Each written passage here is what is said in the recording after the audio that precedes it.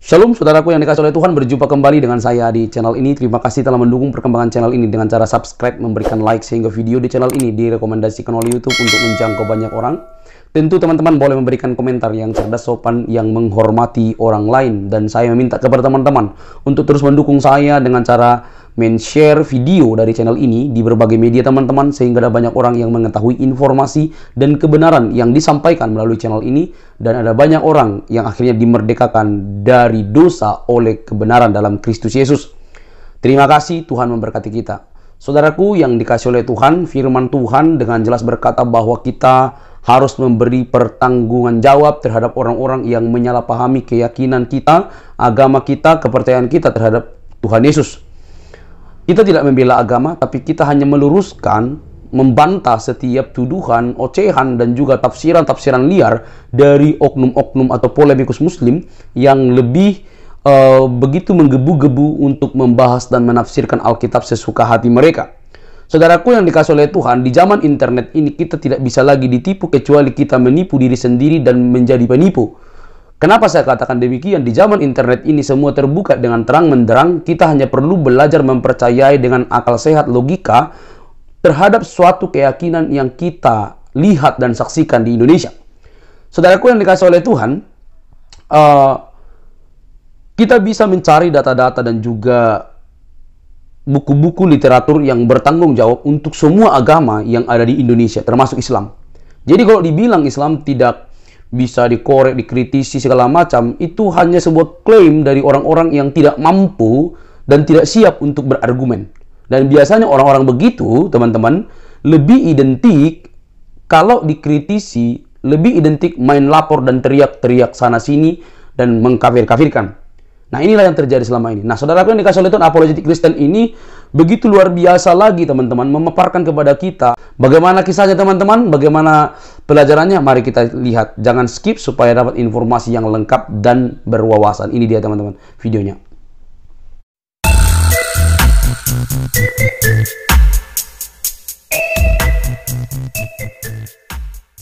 Telah saya sampaikan ya, uh, dan sebetulnya informasi itu adalah informasi yang um, yang telah disampaikan oleh Dr. J. Smith dan Dr. Odon uh, Lafontaine ya. Nah, ini misalnya kita lihat uh, kanal kanal uh, Ustadz Menacem Ali lah ya, Menacem Ali. Ini kita santai-santai aja lah dulu ya malam ini karena ini menurut saya menarik ya. Nah, kalau kita lihat videonya uh, Pak Menacem Ali misalnya ini ada ya. ada judul-judul seperti ini ya.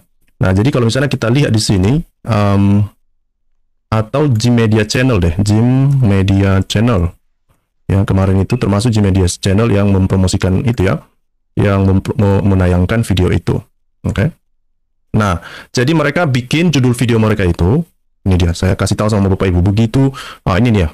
Begitu banyaknya channel-channel yang menyiarkan acara itu kemarin, yang dibahas itu adalah tentang informasi yang saya sampaikan di dalam video saya. Ini banyak kali channel membahas itu. Ini, ini, ini, ya. ini. Banyak itu artinya, itu artinya ini adalah sesuatu yang sangat serius untuk mereka sehingga mereka merelay acara itu kemarin itu dengan uh, rame-rame ya, kira-kira gitu. Oke. Okay? Nah, jadi saya mendengarkan juga kemarin itu saya tonton dan dan saya tonton di kanal YouTube-nya Pak Menacem Ali ya kemarin.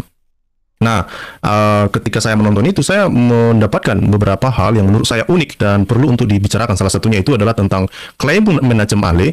Berdasarkan analisanya, dia mengklaim bahwa uh, bulan bintang itu secara eksklusif sebagai simbol Islam. Nah, ini yang akan kita bahas malam ini. Jadi, malam ini kita akan membahas tentang uh, klaim yang dilakukan oleh Menacem Ali. Dia mengatakan di dalam video responnya terhadap video saya sebelumnya itu adalah dia mengklaim bahwa bulan bintang itu secara eksklusif sebagai simbol Islam. Tetapi apakah benar demikian? Nanti ini yang akan kita lihat ya Bapak Ibu. Nah, video yang mana yang mereka respon itu, Bapak Ibu bisa melihat di dalam uh, di dalam presentasi mereka ya. Ini adalah presentasi mereka kemarin ya. Nah, ya, ini ini ada di sini ada Menacem Ali, ada Donditan, ada Kainama dan ada juga yang satu ini yang masih muda, mukanya masih muda sepertinya ya. Kayaknya dia masih umur belasan atau 20-an lah itu ya. Namanya dia bikin di situ Maulana bin Zakaria dan dan uh, Menacem Ali mengatakan dia berharap si Maulana bin Zakaria ini menjadi penerusnya ke depan gitu. Nah, jadi mereka membahas video ini gitu ya, yang berhubungan dengan koin-koin. Kenapa ini menjadi sesuatu yang sangat serius? Ya, ternyata hal itu menjadi sebuah topik yang mereka harus bahas karena Kainama melapor kepada Menachem Ali dia mengatakan bahwa ada banyak orang yang mengirimkan video itu kepadanya dan juga kepada orang-orang yang lain dan mereka bilang bahwa lihatlah video ini, tontonlah video ini. Dan Kainama kayaknya sepertinya ya, sepertinya dia kesusahan untuk memberi jawaban karena banyak orang mengatakan bahwa lihatlah koin-koin ini gitu ya yang berdasarkan hasil penelitian Dr. Odon itu. Gitu ya. Dan Kainama mencoba menjelaskan tetapi tetapi pada ujungnya dia mengundang, dia mengundang manajemen Ali untuk memberikan penjelasan Ya, tetapi alih-alih mereka memberi penjelasan itu yang saya bilang, ini Menacem Ali mendatangkan masalah baru baginya. Mendatangkan masalah baru baginya, bukan hanya mengenai bulan bintang ini sebetulnya, ada hal-hal nanti yang akan kita bicarakan juga ya. Ini sampai dua video karena kemarin memang sempat uh, sempat putus koneksi mereka ketika mereka sedang live stream itu ya. Dan uh, itu uh, itu di sesi kedua nanti kita akan lihat tentang fakta-fakta uh, yang diajukan ya. Nah, di dalam sesi pertama ini yang hari ini juga saya mau merespon tentang respon dia terhadap video saya. Nah, untuk yang berikutnya saya akan merespon tentang fakta-fakta yang dia yang dia bawa untuk membantah informasi yang disampaikan oleh Dr. Dr. Odon dan Dr. Jasmine itu. Gitu. Jadi ini begitu serius, ya, begitu serius. Mari kita dengarkan dulu, ya, mari kita dengarkan ah bagaimana ya, bagaimana reaksi Kainama ketika dia me, ketika ketika banyak orang mengirimkan video ini ke dia dan juga ke beberapa keluarganya lah kira-kira gitu ya, mungkin keluarga dekatnya atau orang-orang yang diketahuinya gitu ya. Nah, mari kita dengarkan dulu bagaimana Kainama ya merengek-merengek dia lah kira-kira gitu ya. Ini di uh, di menit ke-6 6.50. Mari kita dengarkan sama-sama. Oke, okay, 6.50 kirim terus. Tapi kalau ayat-ayat yang seperti Ustadz Dondi cerita waktu itu, hampir setiap hari Ustadz Dondi pun dapat. Dikirim terus, dikirim terus, lalu ada seperti apa ya, seperti ditekan gitu mereka itu bahwa uh, apa ya, ini ini ini nggak benar gitu. Ini ini yang kamu percaya, yang kamu imani ini fiktif, tidak ada dan itu hanya isapan jempol karena tidak ada uh, apa bukti factual historical evidence. Jadi memang dia ini apa ya, dia sangat uh, saya melihatnya begitu terguncang lah ya. Tergun terguncang dia ini. Ya, karena begitu banyak orang yang terguncang gara-gara video itu. Karena itu berbicara tentang fakta kan, berbicara tentang bukti-bukti. Dan di dalam video itu, Dr. Odon dan Dr. J itu mengatakan memang ya melalui koin-koin itu keberadaan Muhammad itu nggak bisa ditelusuri. Bahkan kalau misalnya ini ini coba bayangkan ya, di abad ke-7 itu, di abad ke-7 itu uh, katakan misalnya uh, ketika Muhammad sudah menjadi pemimpin yang yang yang yang uh, berkuasa lah pada saat itu ya tetapi sampai pada 691, Muhammad atau keberadaan Muhammad itu nggak bisa ditelusuri gitu. Masa koin pun nggak ada gitu untuk mengenang manusia yang sangat penting ini gitu.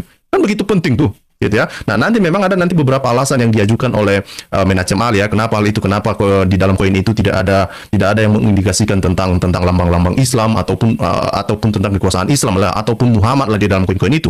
Dan kita itu yang nanti akan kita bahas ya. Jadi Bapak Ibu ini agak panjang ya agak panjang karena ini saya akan merespon. Ini juga mereka punya satu jam lebih ya. Ini di sesi satu ini mereka punya video satu jam le lebih.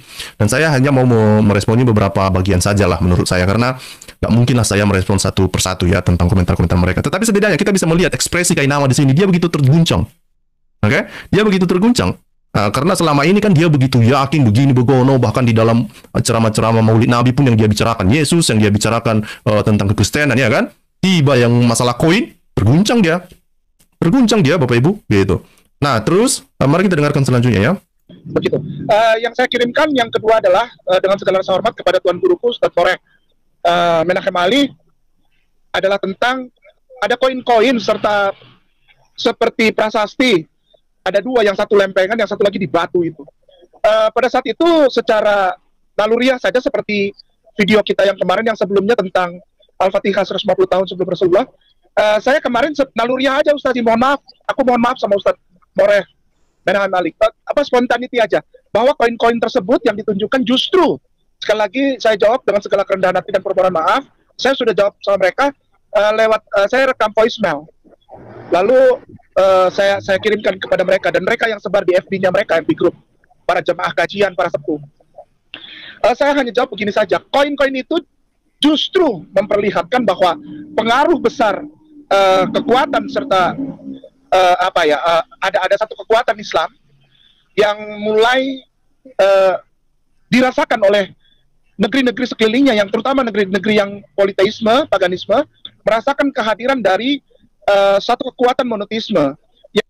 Oke, okay. eh, sebentar. Yang bukan hanya uh, dalam sisi keimanan, tapi juga dalam sisi uh, birokrasi kenegaraan. Oke, jadi kita sudah tahu ya. Pertama ya, dia berkali-kali minta maaf kepada manajemen Ali karena dia menyampaikan jawaban itu. Itu artinya kan dia sendiri nggak yakin bahwa jawaban itu adalah jawaban yang yang bisa menjawab keguncangan ya terguncangnya orang yang mempertanyakan tentang keberadaan Muhammad ini dilihat dari kacamata koin itu gitu ya. Jadi dia berkali-kali minta maaf sama manajemen Ali karena dia telah memberikan jawaban uh, lebih lebih cepat dari manajemen Ali mungkin dan dia sangat khawatir kalau jawaban itu ternyata salah. Gitulah kira-kira gitu ya. Nah, nanti kita akan lihat apakah memang jawaban itu benar, mendukung dan dan ada baik ada, ada benarnya atau tidak gitu ya. Nah, yang kedua dia mengatakan bahwa koin-koin itu justru menunjukkan tentang uh, kekuatan lah tentang keberadaan terhadap uh, apa uh, uh, menunjukkan tentang um, pengaruh Islam pada masa itu. Nah, ini yang saya pikir ya, bukan hanya bukan hanya Kainama yang gagal paham di sini, bahkan juga dari respon manajemen Ali, saya merasa mereka ini gagal paham terhadap video yang saya bahas itu. Juga mereka gagal paham terhadap apa yang disampaikan uh, Dr. J. Smith dan uh, Dr. Odon LaFontaine. Yang dibantah itu bukan masalah Islam, berkembang pada saat itu. Itu itu sisi yang lain gitu ya. Tetapi klaim-klaim Muslim yang selama ini selalu mereka mengatakan bahwa ini uh, Muhammad itu adalah uh, uh, apa namanya yang yang membawa Islam, yang menerima wahyu, yang menerima Quran, ya kan? Nah, tetapi ya, tetapi Ketika ditelusuri tentang hal seperti itu, bagaimana Muhammad, kapan Muhammad menerimanya, di mana Muhammad menerimanya, lokasinya di mana, sepertinya semua clue-clue itu tidak ada clue yang menunjukkan bahwa memang Muhammad ada pada saat itu seperti yang dipercaya oleh Muslim saat ini. Saya pikir gagal paham orang ini mengerti, memahami apa yang dikatakan oleh J. Smith. Benar bahwa pada abad ke-7 itu ada sebuah kekuatan yang bangkit pada saat itu, ada sebuah kekuatan yang bangkit pada saat itu, tetapi belum tentu itu adalah Muhammad yang dikenal oleh muslim saat ini. Itu inti yang disampaikan dari Dr. J. Smith. Makanya saya saya heran orang ini, kenapa mereka selalu gagal paham gitu? Kenapa? Ada apa orang ini? Gitu. Jadi apa yang mereka percayai hari ini bahwa Muhammad itu begini begono di abad ke-7 itu uh, yang misalnya Muhammad itu kan lahir di apa ya di sekitar di tahun 600 500 560 570 kalau nggak salah ya. Terus berkembanglah Islam itu mulai dari 610 dan Muhammad wafat itu pada tahun 632. Itu sejarahnya. Tetapi manusia, manusia yang mereka percaya yang biografinya seperti itu, ya, itu yang dikatakan oleh uh, Jasmine itu, jangan-jangan ini sebetulnya orang yang salah. Kita menceritakan orang yang salah. Kenapa? Ketika ketika ditelusuri tentang keberadaan Muhammad ini susah dan tidak ada data-data pendukung. Bahkan ketika uh, ada ada satu profesor yang sebelumnya sempat saya tayangkan juga ya pernyataan dia, dia mengatakan bahwa di dalam sebuah diskusinya bersama Dr. Jasmine, um, dia mengatakan dia mengatakan bahwa um, tidak ada dokumen-dokumen dokumen-dokumen yang sangat otentik yang bisa mendukung sebetulnya keberadaan Muhammad ini pada saat itu gitu. Itu di dalam sebuah diskusinya bersama J. J. Smith. Nanti kalau sempat saya akan carikan videonya deh, ya uh, dengan dengan profesor yang lain juga, bukan bukan hanya satu, bu, bukan hanya dengan Odon yang yang yang mengatakan bahwa Muhammad di, dipertanyakan eksistensinya pada abad ke-7 itu gitu. Ya. Nah, jadi ini yang saya pikir sekali lagi mereka gagal paham dengan hal ini. Ya, inti yang disampaikan itu adalah bahwa Muhammad yang di uh, yang dipahami saat ini oleh muslim di zaman ini itu belum tentu orang yang sama, belum tentu seperti bukan belum tentu orang yang sama yang dibicarakan pada abad ke-7 itu. Karena kenapa? Dengan melihat misalnya Muhammad yang dipahami saat ini, ketika ditelusuri misalnya, itu keberadaannya sulit untuk dideteksi, sulit untuk mengatakan, oh benar, ini Muhammad memang betul. Muhammad yang kita kenal saat ini memang betul ada di abad ke-7 itu. gitu. Itu itu yang saya pikir kenapa orang ini susah kali gagal pahamnya. Ya, gagal pahamnya ngeri kali gitu. Nah, jadi itu dari uh, uh, uh, apa ya Kainama. Jadi dan memang Kainama mengatakan bahwa uh, saya hanya menjawab ya secara spontanitas dan mengenai bukti-bukti dia nggak punya, dia hanya punya di otak katanya gitu. Nah, itu Bapak Ibu nanti bisa mendengarkan apa yang disampaikannya itu. Sebentar, saya kirim linknya dulu sama Bapak Ibu. Ini video mereka ini. Nah, Bapak Ibu bisa menonton secara utuh video orang ini. Ini saya kirim di uh, live chat. Nah, jadi itu video mereka itu ada di sana masih ya. Download video mereka supaya mereka nggak kelari ke mana-mana nanti gitu. Ya, jadi jadi ini adalah salah satu bukti memang mereka terguncang dengan hal ini. Mereka terguncang dengan hasil penelitian Odon dan juga hasil uh, penelitian yang dilakukan oleh Dr. J. Smith.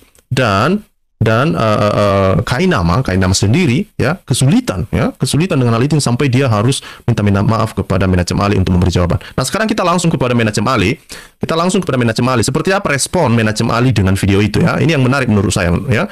Ini di menit ke 1934. Ini saya tonton berkali-kali video mereka ini Bapak Ibu. Jangan salah saya jangan jangan mengira saya tidak menonton, saya tonton. Karena ini menurut saya orang ini em, perlu eh, dikasih perhatian lah dikit ya kan. Ini ke mana ini? Ini eh, di menit ke 1934. 1934. Apa yang dikatakan oleh manajer Mali? Mari kita dengarkan. Timur, Yitro Hayishmaili. Uh, pada bulan istimewa ini, yakni bulan Maulid, kita dikejutkan dengan dua berita akbar. Berita yang dahsyat yang diterima oleh saudara-saudara kita penutur bahasa Indonesia dan sekaligus penutur bahasa Melayu. Artinya musibah ini menimpa ke seluruh kawasan di Asia Tenggara yang paham bahasa Indonesia ataupun paham bahasa Melayu mengenai dua hal yang tadi saya katakan. Yang pertama, kasus yang sudah pernah kita bahas, yakni surah Al-Fatihah yang ada di dalam Quran didakwa sebagai fotokopi dari teks doa berbahasa Suryani versi Kristiani. Dan itu sudah kita jawab secara detail bahkan berdasarkan bukti-bukti yang akurat bahwa itu tidak benar. Bahwa Al-Fatihah yang kita punya dalam versi bahasa Arab bukan merupakan fotokopi atau jiplakan dari doa versi kaum Kristiani Ortodok uh, Syria. Uh, yang kedua, yang sedang kita bahas sekarang, ini bukan bicara mengenai surah Al-Fatihah sebagai bagian dari kitab suci Quran. Tetapi masalah yang kedua ini berbicara siapa yang menerima Quran, yakni Muhammad Shallallahu Alaihi Wasallam. Ternyata sekarang ini dalam versi bahasa Indonesia dikatakan sebagai tokoh fiktif, alias orang ini tidak pernah ada. Oke, jadi Bapak Ibu sudah nangkap ya poinnya apa yang dia sampaikan ya Bapak Ibu. Jadi memang ya itu itu adalah uh, informasi yang disampaikan yang disampaikan oleh Dr. Odon bersama dengan Dr. J. Smith ya. Mereka mengatakan bahwa um, Muhammad ini dipertanyakan eksistensinya pada abad ke-7 gitu ya. Dan dan Menachem Ali mengakui bahwa dua isu ini, dua isu ini menjadi menjadi musibah ya. Bahkan dia mengatakan dalam dalam uh, video itu, itu dia mengatakan bahwa itu musibah bagi mereka gitu. Begitu terguncangnya gitu ya. Bukan hanya Kainama yang terguncang rupanya. Dia juga terguncang ini. Bahkan dia menganggap itu adalah sebuah musibah. Gitu ya. Kenapa itu dianggap sebuah musibah ya? Saya saya saya um, teringat ya dengan apa yang terjadi di dalam kekristenan ya. Di dalam kekristenan ini banyak hal-hal yang sudah terjadi, Bapak Ibu. Oke, okay? di dalam kekristenan itu ada yang menuduh macam-macam, termasuk apa yang dilakukan Kainama. Bahkan ada penelitian sebelumnya sebenarnya yang yang mengatakan ya, yang mengatakan bahwa Yesus itu tokoh fiktif, gitu ya. Sebelumnya mengatakan bahwa Yesus itu tokoh fiktif. Apakah orang Kristen lalu ngamuk-ngamuk mereka? Enggak lah, ya kan? Enggak, orang Kristen santai-santai aja. Dan itu kita santai menjawabnya ya. Santai menjawabnya dengan uh, memberi dalil uh, apa dalil-dalil yang yang bisa dipercaya. Nah, orang ini ketika mereka diperhadapkan dengan hal seperti ini lalu mereka mengatakan ini musibah. Ya, ini peristiwa yang yang sepertinya begitu apa ya, mengguncang iman mereka gitu ya. Nah, saya kurang tahu kenapa. Ya kalau betul ya kenapa kamu mengatakan itu musibah dong? Yakin saja ya kan. Nah, memang saya ke sebelumnya ya saya sudah menonton, saya juga mengikuti um, mengikuti uh, apa namanya itu? bantahan dia terhadap surah Al-Fatihah itu ya. Salah satu poin yang dia sampaikan di dalam surah Al-Fatihah itu memang dia mengatakan bahwa yang di dalam video itu tidak menunjukkan bukti-bukti apakah apakah surat apakah surat atau tulisan doa orang Kristen di Syria itu itu adalah memang betul-betul pada zaman itu.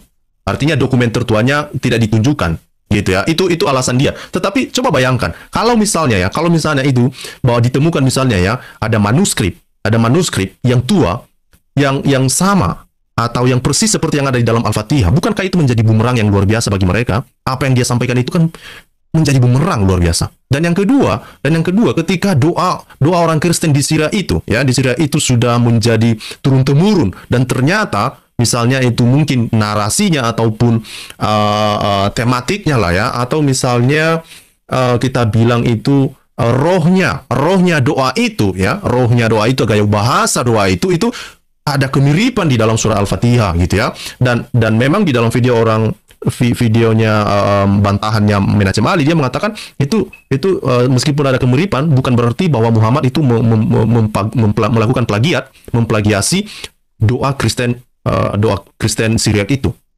Ya, tapi kan tetap aja pertanyaannya, kenapa bisa mirip? Kan gitu. Memangnya rupanya duluan Muhammad daripada orang Kristen Syria. Ya kan?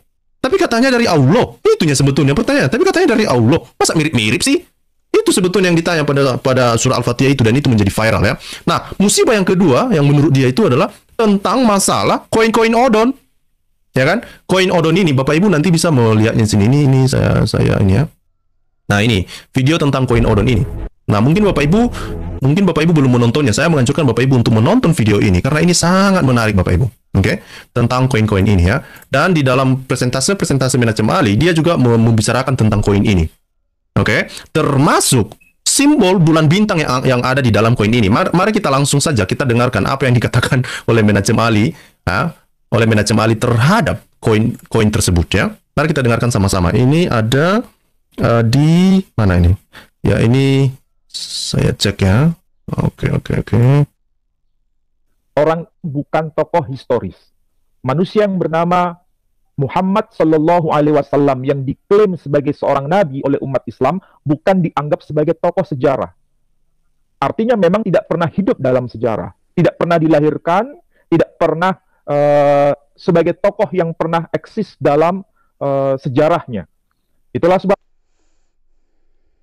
ini hang pula ya. Sabar dulu Bapak Ibu. Ini hang pula ini komputer saya. Entah kenapa. Oh, ini masih hang dia. Bagi seluruh umat manusia di bumi dan seluruh alam. Nah, ini dia ya. Jadi mereka ya. Um, mari kita dengarkan. Oke, okay, ini dia. Jadi berdasarkan video ini sebenarnya pembahasannya sangat sederhana.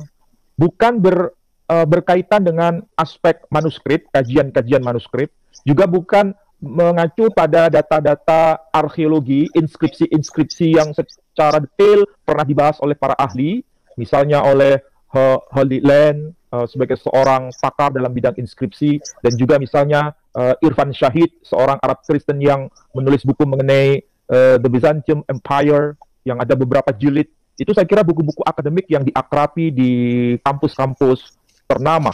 Tapi okay, tidak tidak itu yang dibahas. Namun pada uh, video ini hanya berkutat uh, mengenai lempengan-lempengan uh, koin atau mata uang yang ditemukan dan bahkan menjadi koleksi khusus dari dua orang yang sedang berdialog dalam versi bahasa Inggris itu yang kemudian diterjemahkan ke dalam bahasa Indonesia. Salah satunya adalah J. Schmidt. Saya kira Ustadz Kainama tahu siapa itu J. Schmidt. Jadi ketika uh, Jay Smith me, apa ya membeberkan atau mengumpulkan ya mencoba untuk mempresentasikan informasi-informasi seperti ini lalu mereka mengatakan bahwa uh, mengatakan apa ya memberikan in, uh, impresi yang yang yang yang jelek lah terhadap Jay Smith ya bahkan sampai-sampai pun Don Ditan sepertinya dia tidak tahan untuk mengatakan sesuatu dan dia mengatakan bahwa Jay Smith itu adalah seorang pecundang gitu ya. Kasihan juga saya melihat orang ini gitu. Ya, nah inti dari apa yang disampaikan oleh manajer Ali dalam video ini adalah sebetulnya dia mengatakan ini adalah uh, sederhana ya. Dari koin-koin ini sederhana bukan manuskrip-manuskrip. Ya hanya berhubungan dengan simbol-simbol. Dan manajer Ali mengatakan bahwa untuk memahami simbol-simbol ini ada begitu besar ada banyak ruang-ruang uh, penafsiran lah kira-kira gitu. Berbeda kalau misalnya itu adalah sebuah manuskrip manusia manuskrip tertua. Itu berbeda ya. Uh, penafsirannya lebih spesifik itu sebetulnya inti yang mau dia sampaikan dan dia mengatakan bahwa adanya simbol di dalam koin ini ada simbol uh, tanda salib di dalam koin ini ini tidak ber, ini tidak berarti bahwa itu adalah um, uh, itu tidak berarti bahwa Islam tidak ada atau tidak ada indikasi terhadap keberadaan Muhammad. Ya saya setuju dengan hal itu yang dibilangnya. Intinya bahwa koin yang yang ditemukan pada masa ini ada pada tahun ini tahun 644 loh Bapak Ibu.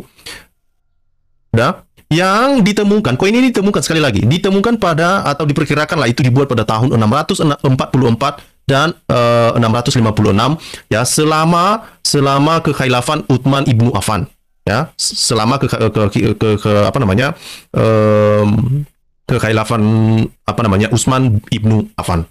Jadi perhatikan itu jauh setelah Muhammad meninggal dan koin ini koin ini tidak ada indikasi tentang keberadaan Muhammad. Memang betul yang disampaikan oleh manajer Mali, memang memang betul yang disampaikannya memang tidak ada indikasi koin ini mengatakan bahwa uh, tidak ada uh, tentang keberadaan Muhammad. Betul. Ya sama, kita juga merasa begitu bahwa koin ini menunjukkan keberadaan Muhammad tidak ya tidak terdeteksi sulit untuk mengatakan apakah Muhammad ada di zaman ini atau tidak. Kenapa? Karena koin ini saja justru simbol-simbol kekristenan yang masih eksis. Kalau ya kalau seperti yang mereka gaung-gaungkan ya, nanti kita akan melihat ya masa-masa masa-masa kekhilafan uh, Islam itu dari tahun ke, dari tahun berapa ke tahun berapa. Dan seperti apa wilayah kekuasaannya. Karena ada blunder ya ada ada masalah yang sangat blunder menurut saya apa yang disampaikan oleh Manan Camali di dalam video ini. Dia mengatakan bahwa ya itu wajar saja. Karena pada saat itu itu terjadi uh, hibridisasi lah. Ya mungkin maksudnya itu uh, pencampuran ya. Pencampuran antara antara keyakinan itu yang bisa yang bisa itu uh, merujuk kepada apa yang terjadi pada koin-koin itu itu alasan dia ya tetap saja Muhammad nggak nampak di situ ya kan kan itu kan itu poinnya tetap saja keberadaan Muhammad nggak bisa di nggak uh, bisa ditelusuri dari keberadaan koin ini Bagaimana Yamin Acemali ini? Kan memang itu tujuannya, kan memang itu informasinya gitu ya. Nah, dan Menachem Ali mengakui itu. Memang dia mengatakan ya itu kan tidak menunjukkan bahwa Muhammad tidak ada. Betul, tetapi di mananya? Kalau begitu, bagaimana kita membuktikan keberadaan Muhammad kalau nggak ada dalam koin-koin seperti ini gitu ya? Padahal, padahal Muslim mengatakan bahwa uh, misalnya di dalam masa ke, uh, kekhilafan itu begitu besar kekuasaan kekuasaan uh, Islam dan lebih lucunya Menachem Ali, Menachem Ali di dalam video ini dia mengatakan begini bahwa pada saat itu ya um, bukan hanya kekuatan, bukan hanya kekuasaan Islam yang ada pada masa itu, tetapi ada kekuasaan yang lain, misalnya kekuasaan Romawi yang menurut dia lebih berkuasa pada saat itu. Jadi Islam itu pada saat itu adalah hanya sebuah alternatif, alternatif uh, uh, kekuasaan pada saat itu. Ini adalah sesuatu yang sangat blunder. Tahu nggak kenapa? Ini saya akan bukakan kepada Bapak Ibu ya. Kenapa saya merasa bahwa ini ini Menachem Ali uh, dipertanyakan lah, ya dipertanyakan motifnya untuk menyampaikan hal itu. Kita akan lihat masa kekhalifan. Ini masa kekhalifan Islam. Ya, ini ini saya saya kasih uh, di depan mata Bapak Ibu untuk mengerti, untuk memahami ini pelan-pelan. Oke, jadi ketika berhadapan dengan kain nama, kasih dia koin-koin lagi ya kan, biar pusing dia. Nah, Bapak Ibu nanti kasih ya, kasih uh, uh, kata kunci di Google misalnya masa kekhalifan Islam. Ya, kita nggak perlu yang rumit-rumit teknologi-teknologi yang canggih-canggih nggak perlu. Cari aja di Google masa kekhalifan Islam, maka kita akan lihat ini ya. Misalnya di Wikipedia khalifah, ya kan? Kita ceklah di masa khalifah ini. Ya kan? Nah, di masa khalifah ini Bapak Ibu nanti bisa membaca oh khalifah ini, khalifah itu, khalifah ini, khalifah itu ya kan? Tetapi ada namanya khalifah. Oke. Okay. Ini kenapa ini? Oke. Okay. Nah, dan di dalam masa keislaman ini ada ya masa namanya ada beberapa masa kekhalifan ya. Misalnya ini dibilang khalifah utama. Bapak Ibu bisa mengetahuinya ya. Oh, ini ini. Oh, ini saya perbesar. Nah, dibilang di sini khalifah utama. Ada banyak sebetulnya masa-masa kekhalifan itu ya. Ada khalifah utama, ada Wangsa Umayyah ya. Ini apa namanya di dalam uh, khalifah-khalifah yang utama ini. Nah, kita akan lihat langsung misalnya di dalam masa kekhilafan utama ini misalnya di dalam uh, khalifah Rasidin ya, kekhilafan Rasidin. Udah? Biar biar ini tidak ada dusta di antara kita lah ya kan. Kita klik lah di sini ya kan kekhalifan Rasidin. Nah, Kekhalifan Rasidin itu kapan terjadinya? Ini dia Bapak Ibu, ini tahunnya ini. Mulai dari 632 sampai 661. Bapak Ibu bisa baca ini ya. Kekhalifan Rasidin itu mulai dari tahun 632 sampai 661 setelah Masehi ya. Nah, seberapa besar kekuasaannya Bapak Ibu? Coba perhatikan ini. Ini, ini, ini, ini, ini. Klik, klik petanya ini. Inilah kelihatan ini. Yang hijau ini Bapak itu, itulah kekuasaannya, kekuasaannya kekhalifan pada masa itu.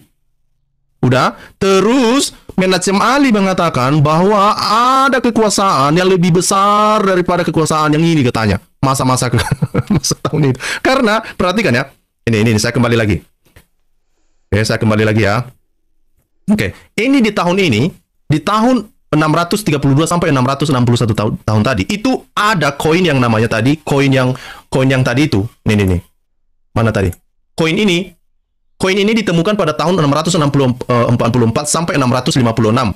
Ya kan? Artinya koin ini ditemukan pada masa kekhalifan Rasidin. Bisa dipahami ya? Nah, terus klaim mereka mengatakan bahwa itu kan uh, apa namanya Islam masih belum berkuasa begitu besar pada saat itu. Tapi sejarah kan mengatakan be berbeda. Ini daerah kekuasaannya. Nah, ini dikatakan di sini ya, perhatikan ini. Kekhalifah Rasidin adalah kekhalifan yang berdiri sejak wafatnya Nabi Muhammad pada tahun 632 Masehi atau tahun 11 Hijriah. Kekhalifahan ini terdiri atas empat khalifah pertama dalam sejarah Islam yang disebut dengan uh, sebut sebagai Khulafa, Khula, Khulafaur Rasidin. Pada puncak kejayaannya, kekhalifahan Rasidin membentang dari perhatikan ini dari Jazirah Arab sampai ke Levan, sampai ke Kaukasus dan Afrika Utara, serta sampai ke dataran tinggi Iran dan Asia Tengah di timur. Artinya kawasan itu begitu besar Bapak Ibu. Lalu Muhammad Ali atau Menachem Ali mengatakan, "Oh, itu Islam pada saat itu belum besar. Kekaisaran Romawi masih lebih berkuasa. Itu kekuasaan Islam itu pada masa itu masih hanya sebuah alternatif. Eh, gimana ya orang ini? Satu sisi mengatakan bahwa ini masa-masa masa-masa kekhalifahan, masa-masa penting bagi Islam. Tapi satu sisi, oh, tidak. Itu masih itu hanya sebuah alternatif doang. Gimana ya orang ini? Hah? Coba dulu. Gimana orang ini? Oke, jadi itu makanya saya bilang ya, saya merasa lucu mendengarkan orang ini. Mereka tidak bisa menerima fakta gitu ya. Nah, sekali lagi, koin tadi itu ditemukan pada masa ini. Dan di dalam koin itu, keberadaan Muhammad itu nggak ada, bisa ditelusuri. Itu intinya. Kok susah kali sih dimengerti? Itu intinya. Artinya, kalau kita lihat berpikir lebih jauh lagi, ya, apa yang disampaikan oleh Jay Smith dan Dr. Odon itu, mereka mengatakan begini, Odon mengatakan kemungkinan orang yang sebetulnya yang dibicarakan ya atau yang memiliki ke kekuasaan pada abad ke-7 itu bukan Muhammad ini yang mereka percaya ini, tetapi kemungkinan mungkin Amir atau Umar, itu yang mereka percaya, itu yang disampaikan oleh Odon. Artinya apa? Inti yang mereka sampaikan itu adalah bahwa Muhammad yang dipercayai oleh Muslim zaman ini bukanlah Muhammad yang diceritakan, yang ada, yang ada uh, uh, uh, uh, apa namanya, uh, bukanlah manusia yang sama atau tokoh yang sama, yang dikenal pada abad ke-7. Kalau misalnya Muhammad begitu begitu penting dan menjadi tokoh penting, bagaimana tidak menjadi tokoh penting? Bayangkan aja daerah kekuasaannya itu yang sampai ke Asia Tengah, sampai ke uh, Afrika Utara, ya kan, menguasai dataran Arab, ya kan, hampir sampai ke ke uh, apa namanya ke Arab Selatan, Arabia Selatan, ya kan, mulai dari Arabia Utara bahkan menguasai kawasan uh, apa ya, uh, hampir menguasai seluruh kawasan Sasanid, gitu ya sampai ke Arabia Selatan. Itu yang dibilang itu nggak besar, itu nggak signifikan, dan itu masih dianggap sebagai hanya sebuah kekuasaan alternatif. Ini yang kadang-kadang orang ini ya, saya nggak tahu lagi lah mau ngomong apa kalau begini. Mungkin masuk Menachem Ali ini baru dianggap bahwa Islam itu sebagai kekuatan yang absolut kalau sudah dikuasai seluruh bumi ini gitu ya pada masa itu. Kan nggak nggak nggak jelas orang ini ya kan orang Batak bilang nggak jelas ya kan. Nah jadi ini yang saya pikir, ayo dong terima faktanya, terima faktanya bahwa kemungkinan besar ya dan seperti yang disampaikan oleh prasejarawan itu, Muhammad yang kalian pikir saat ini itu bukanlah tokoh yang sama yang ada atau yang terkenal atau yang dikenal pada abad ke-7. Itu masuknya, itu inti pesannya. Ini harus saya ulang-ulangi lagi. Saya ulang-ulangi lagi yang disampaikan oleh uh, apa namanya ini Dr. J dan Dr. Odon itu. Gimana sih kalian ini? Gitu ya. Nah, kita kembali. Nah, ada lagi blunder yang disampaikan oleh Menachem Ali di dalam presentasi mereka ya tentang uh, itu mengenai topik kita hari ini tentang bulan bintang. Oke, okay, kita akan menuju ke bulan bintang ya. Ke bulan bintang. Oke, okay, uh, sebentar. Oke, okay, sebentar. Di dalam video mereka ini ya, sempat-sempatnya mereka membandingkan, sempat-sempatnya mereka membandingkan tentang Yesus, masa Yesus. Ya kan? Mereka bilang, "Ah, lihatlah mana ada uh, mana ada itu koin uh, yang ada tanda salib pada masa Yesus." Lah kan berbeda lah. Orang Israel pada saat itu masih di bawah pemerintahan Roma. Lah Islam kan artinya kan Israel masih di bawah penjajahan. Lah Islam kan menjajah pada saat itu. Mereka yang yang conquer ya kan. Mereka mau apa namanya yang menguasai wilayah itu di situ. Artinya mereka lah yang punya punya otoritas dong. Menurut pemahaman Muslim saat ini harusnya mereka punya otoritas, punya kekuasaan, punya resource.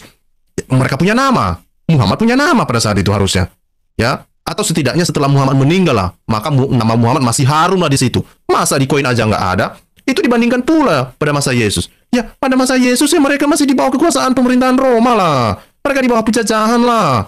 Kayak gimana ya orang ini? Ini kadang-kadang ya gara-gara terguncang kali pikirannya, terguncang kali pikirannya, udah nggak tahu lagi mau apa, udah nggak tahu lagi mau mau memberi pembelaan apa, lalu dibalik-balikkan ke Yesus. Ayah ya ya ya, ayah ya ya ya ya ya ya, ya ya ya ya ya ya ya.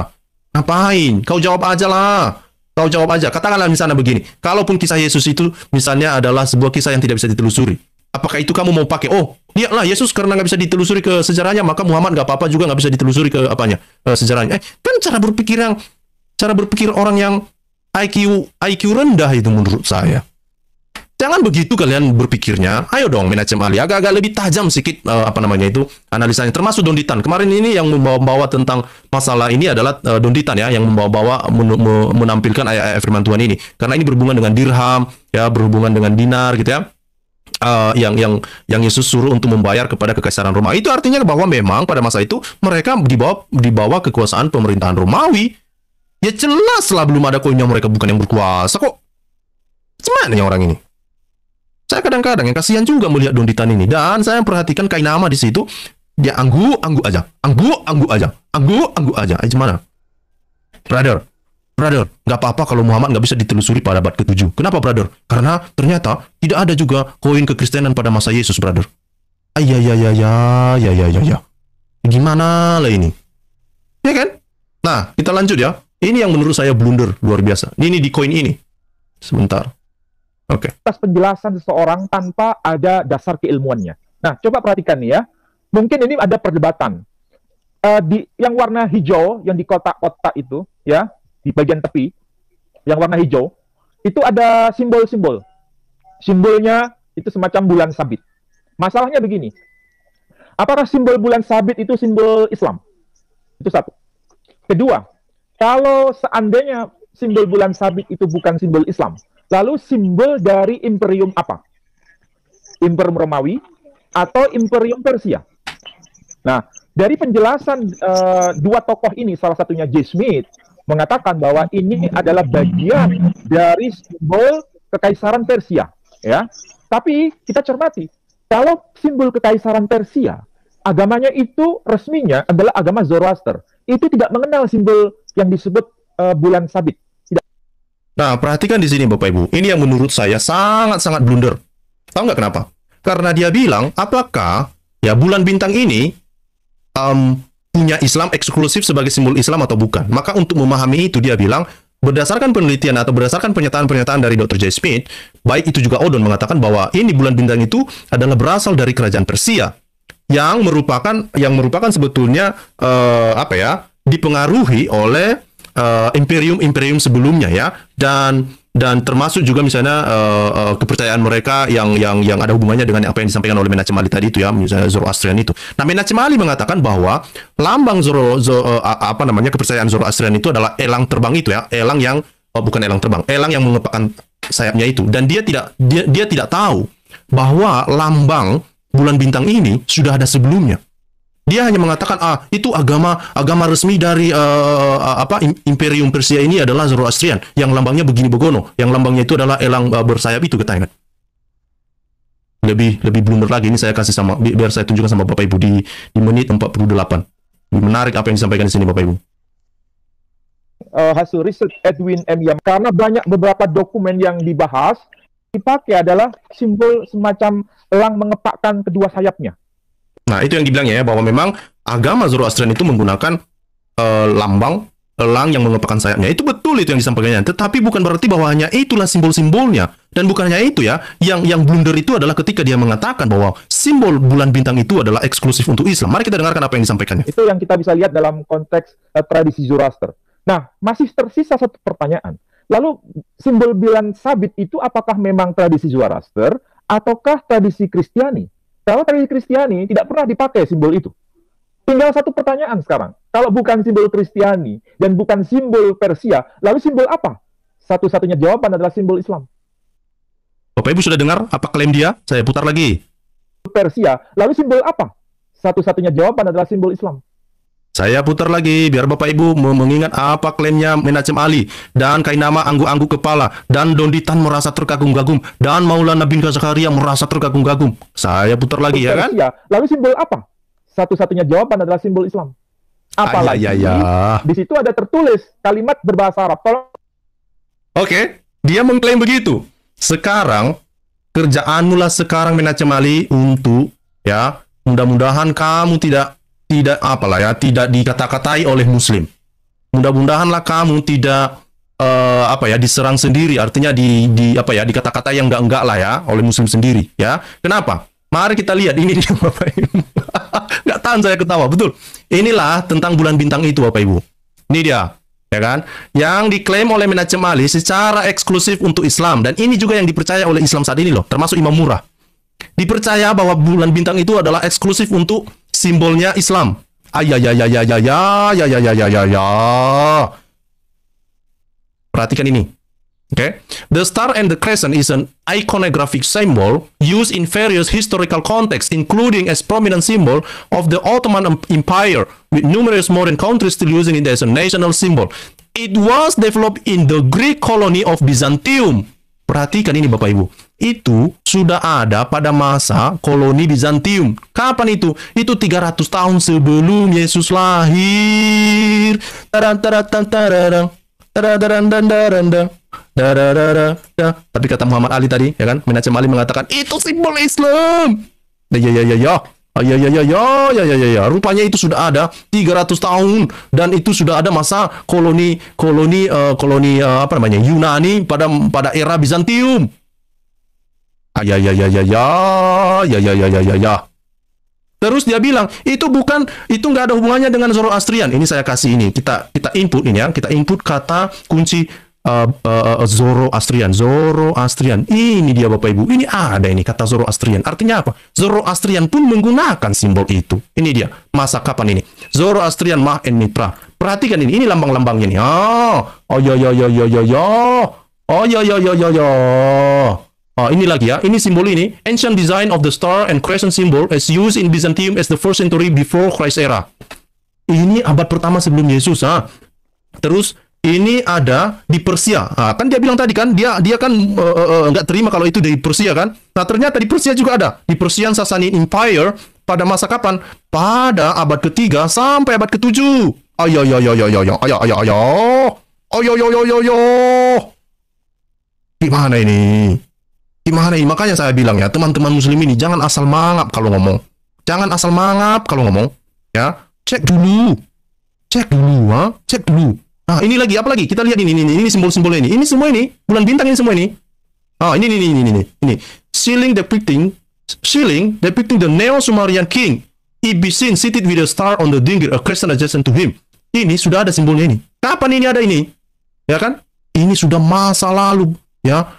Jauh ya ini, ini ini simbol ini, bulan bintang ini. Ini kapan ini? Ya. Depicting the the, the emblems of Easter, Venus, Sin, Moon, uh, and Samas, Sun. Nah, ini adalah uh, apa namanya? Yang ada di masa di masa di masa uh, uh, abad ke-12 sebelum Masehi. Abad ke-12 sebelum Masehi. Abad ke-12 sebelum Masehi. Abad ke-12 sebelum Masehi, Bapak Ibu. Abad ke-12 sebelum Masehi. Ini sudah ada bulan bintangnya di situ. Dikatakan di situ bahwa itu Ven, apa namanya? Istar itu melambangkan Venus, Sin itu melambangkan bulan dan Samas itu melambangkan apa? matahari. Ah, ya ya ya ya kan matahari itu dibilang uh, di situ uh, se, di, apa dianggap sebagai bintang ya. Itu. Sebentar dulu ya Bapak Ibu saya balas uh, saya balas saya balas um, saya balas SMS maksudnya. Sebentar. Siap. Oke, kita lanjut ya. Jadi, ketika mau ketemu sama Menachem Ali, apa yang Bapak Ibu mau sampaikan?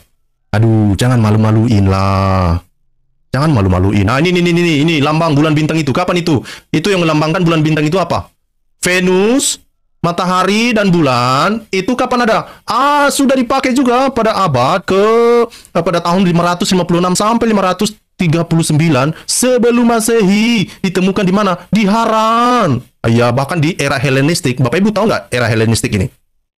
Ini era Helenistik ini ya ini misalnya itu masa-masa sekitar dua abad ya abad abad dua abad lah sebelum sebelum masa sebelum masehi ayah ayah ayah dan itulah di situ misalnya Zoroastrian itu ada ya kan ayah bagaimana ini menacemali ya mudah-mudahan kamu tidak apa ya dicibir oleh muslim sendiri ya bapak ibu mudah-mudahan menacemali itu bisa tidur malam ini ternyata itu bukanlah simbol yang eksklusif untuk Islam ayah ya ini Imam Murah, dia sangat apa ya, protes saya dibilangnya itu monolog katanya lah. Jadi yang kemarin itu orang Mina Cemali itu bukan monolog. Ya ya ya ya ya Mina Cemali. Ya ya Imam Murah. Dan apa sih pentingnya harus berdebat berdebat untuk apa ya mem, uh, uh, harus bertatapan muka ya kan? Kenapa? Untuk apa? Nggak perlu. Lebih bagus yang seperti ini kan. Kita nggak perlu cari-cari masalah ya kan. Menacem Ali memaparkan materinya, saya membantahnya ya kan. Dan kita menemukan Menacem Ali dia bilang bulan bintang itu eksklusif sebagai simbol Islam. Eh, rupanya bukan. Oke, itu saja mau saya sampaikan malam ini Bapak Ibu. Jadi untuk yang sesi kedua, mungkin besok Oke teman-teman yang dikasih oleh Tuhan kita sudah menyimak pemaparan yang luar biasa merupakan fakta baru buat teman-teman umat muslim supaya lebih terbuka untuk mengkritisi, mempelajari setiap keyakinanmu teman-teman.